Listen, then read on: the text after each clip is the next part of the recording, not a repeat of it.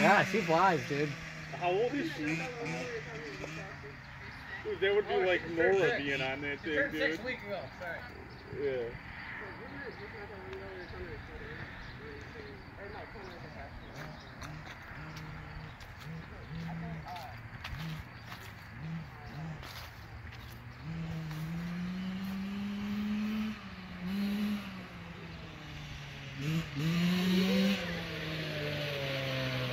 I'm